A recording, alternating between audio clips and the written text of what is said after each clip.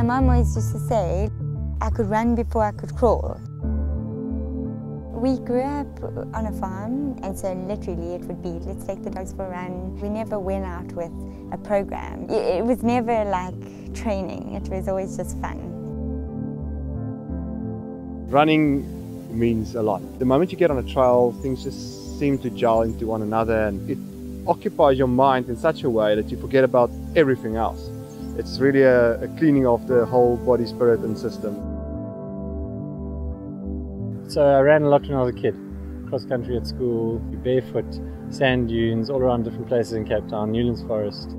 I grew up watching Comrades once a year on a Sunday, the whole day, you know, so the passion was kind of deep there.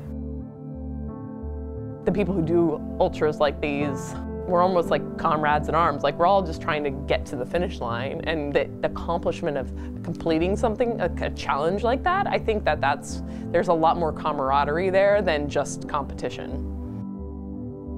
I come from a small village. I used to run to go fetch cattle sometimes. So running for me, it's, it's a lifetime event. We're just here to explore. We're gonna learn it one or two things. Then we'll take it from there. It might be possible I might be coming back next year. It's a place where I can find peace. It's a place where I can just be myself. Who I am and us as a family, like running is a big part of us.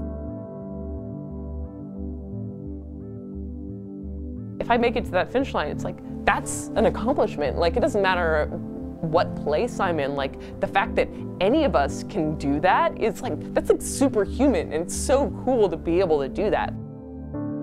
To take part in such an iconic race in this area is, is quite a, a dream come true. I love the fact that anything can happen in that in the business end, but there's some seriously big names out there, so I have to remain dark horse and say no ways. like everything aside, on that day, you're gonna be going through a lot. And you're gonna be thinking about, oh my God, I really don't wanna quit. I really just wanna make it over this hill. I really just want a Coca-Cola at the next aid station. I've never run this far on a mountain, so there is a new element to me. To the last quarter is a new whole distance. So it's gonna be real.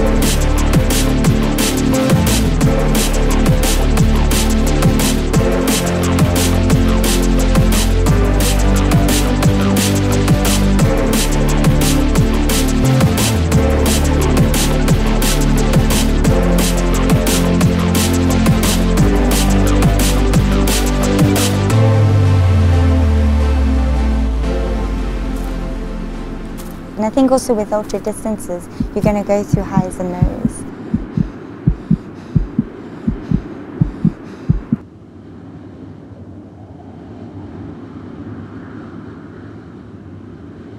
And I think when you're going through a low where you, um, should I finish, should I pull out, you might just reach that high again. So it's worth just hanging in there.